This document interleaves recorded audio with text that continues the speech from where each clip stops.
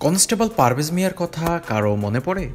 সাত জুলাই দুই হাজার সতেরো সালে কুমিল্লার দাউদকান্দির গৌরীপুরে বাস নিয়ন্ত্রণ হারিয়ে ডোবায় পড়ে গেলে ঘটনাস্থলে উপস্থিত লোকজন দাঁড়িয়ে যখন ভিডিও করায় ব্যস্ত ছিলেন, ঠিক এই সময় জীবনের ঝুঁকি নিয়ে ময়লা নোংরা পানিতে লাফিয়ে পড়েন দাউদকান্দি হাইওয়ে থানার কনস্টেবল পারভেজ মিয়া।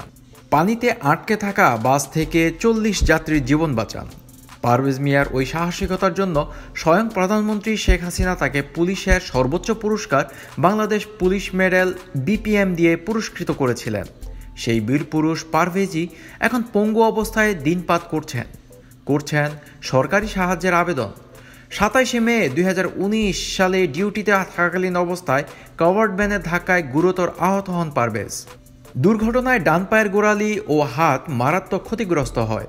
পরে পঙ্গু হাসপাতালে কনস্টেবল পারভেজের জন্য একটি মেডিকেল বোর্ড গঠন করা হয়েছে। বোর্ডের চিকিৎসকরা পারভেজের জীবন বাঁচাতে অস্ত্রোপচার করে তার পা কেটে ফেলেন।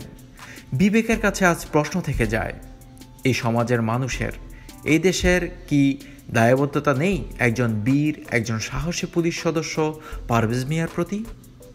সবার আগে সর্বশেষ সংবাদ পেতে নিউজ এ টোয়েন্টি ফোর চ্যানেলটি সাবস্ক্রাইব করে বেল আইকনে ক্লিক করে রাখুন। ধন্যবাদ।